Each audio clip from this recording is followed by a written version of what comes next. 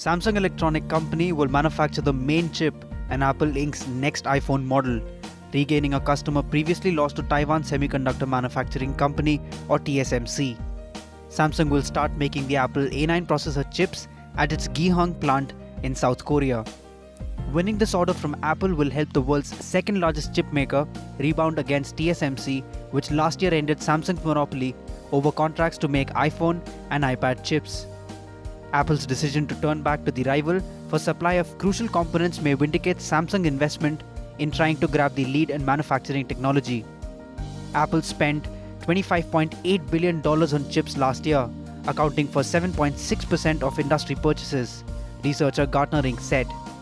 The company is spending $15 billion on a new chip plant outside Seoul. Samsung partnered with Global Foundries last year in the made to order chip business, an alliance targeting TSMC. Global Foundries is licensing Samsung's most advanced 14 nanometer processor technology, giving customers access to factories in Texas, New York State, and South Korea.